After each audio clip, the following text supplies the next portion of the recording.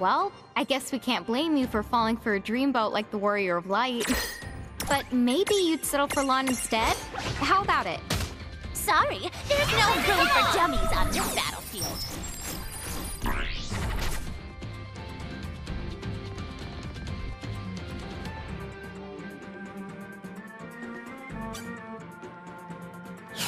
Is she playing hard to get? Why am I so intrigued? I... I don't think I'm ready for this. Are these feelings normal? Maybe for you!